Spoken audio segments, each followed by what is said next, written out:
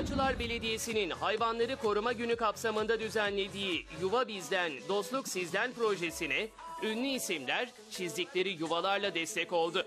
Engelliler Sarayı'nda yapılan ve boyanan yuvalar Hülya Koçyiğit'in katılımıyla sokak hayvanlarıyla buluşturuldu.